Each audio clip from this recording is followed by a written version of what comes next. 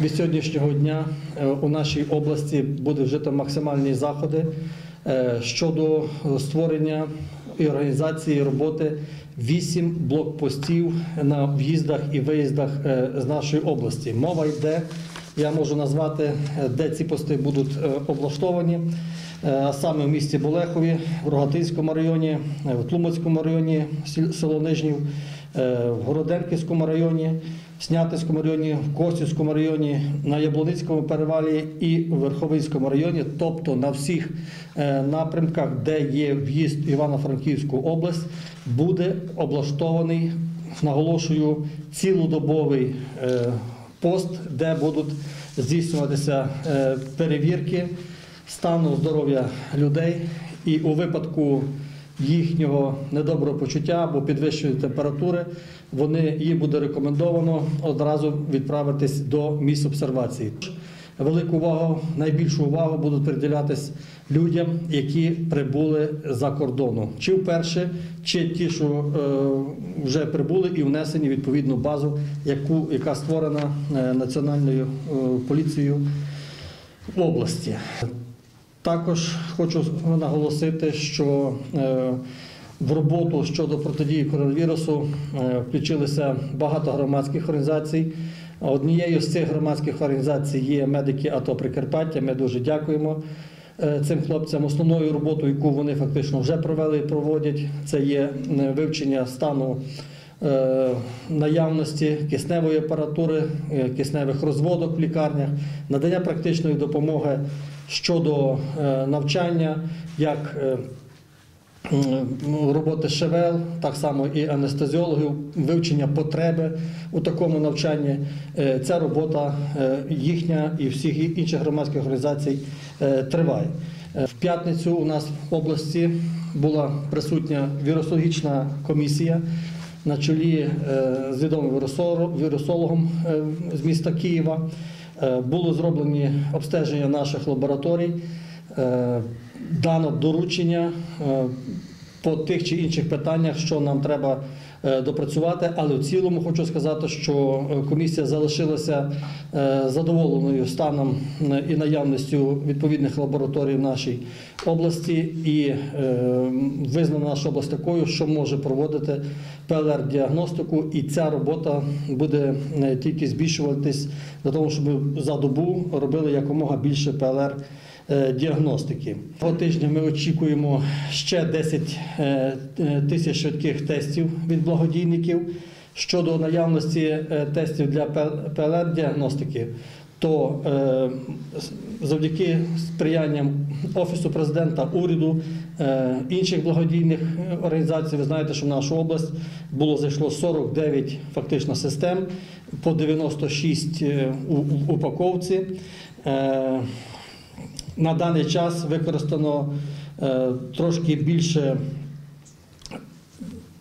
4 системи з половиною, тобто у нас на залишку 44 е, з половиною системи. Це приблизно є можливість обстежити ще методом ПЛР-діагностики 3700 лю- людей. Тобто незначна кількість використана, але е, хочу наголосити, що протягом цих днів, навіть і вихідні, ми е, постійно проводимо е, такі онлайн-наради е, із головами райдержадміністрації, з головами районних рад, міськими головами.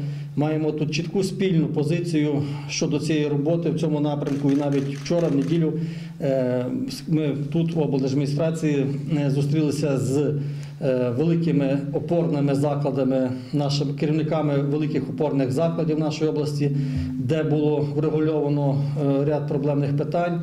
А саме ми врегулювали, що ще і включається в ПЛР-діагностику обласна клінічна лікарня, яка надає свій дорогий апарат для е, потреб лабораторного е, центру, і з тим, щоб ми круглодобово могли е, виконувати не менше 100 таких ПЛР-діагностик.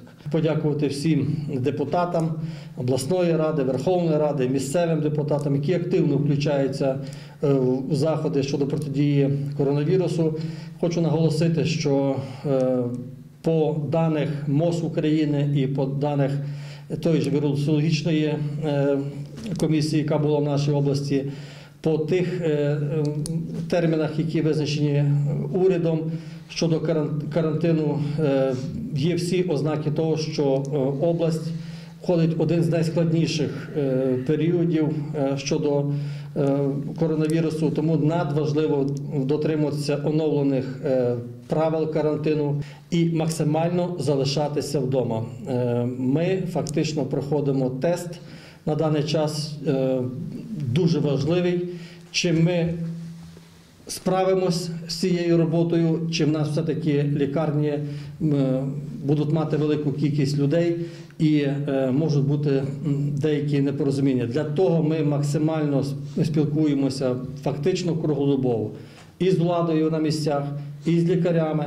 Я наголошую, це не слова просто для того, що влада звітує, що все добре. Є в окремих питаннях проблеми, але 11 закладів, які визначені для прийому коронавірусних е, хворих, вони мають щонайменше двотижневий запас засобів індивідуального захисту, мають е, відповідне обладнання. Вони обладнані вже на даний час киснем і можуть надавати першочергову допомогу. Про інші заклади е, другої хвилі.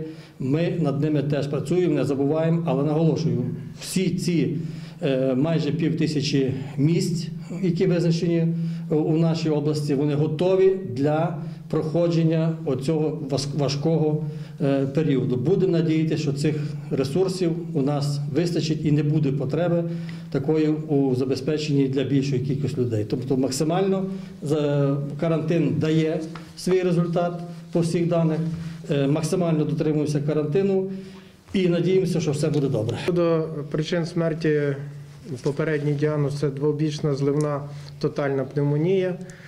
Е, Як було поінформовано на попередніх брифінгах, за результатами лабораторного дослідження ПЛР е, від'ємний, е, результат від'ємний на коронавірусну інфекцію. Проте для остаточного діагнозу результат е, маски і е, біоматеріал переданий в референс-лабораторію Центру громадського здоров'я міста Києва.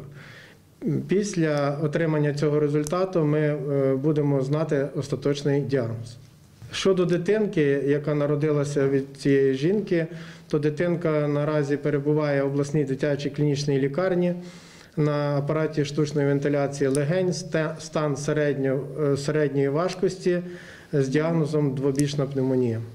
Станом на 9 годину 6 квітня підтверджено 1319 випадків COVID-19. Е, Кількість станом на 9 годину ранку сьогоднішнього дня по нашій області є 116. Але оскільки платформа формується, платформа, де ми вносимо дані в центрі громадського здоров'я, формується щоденно з 18 години до 19. Я перепрошую, це в Києві платформа. Платформа в. Києві в центрі громадського здоров'я Міністерства охорони здоров'я України. Тому, якщо ви хочете оперувати більш свіжішими даними вже, скажімо так, то в нас на цей час є 141 лабораторно підтверджений випадок. Ці дані доопрацьовуються зараз, тому що лабораторії зараз працюють в цей час, як і озвучив Віталій Васильович, що працювали і в суботу, і неділю ставили двократні дослідження, тобто працюємо ще не в цілодобовому режимі, але без вихідних. І ми маємо на цей час у нас, тобто від'ємних результатів дослідження COVID-19 у 196 випадках.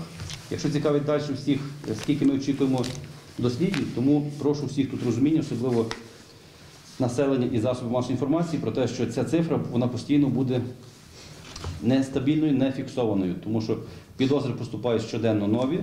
І щоб сьогодні сказати, що у нас очікує там 100 чи 200 змивців, то це буде неправильно.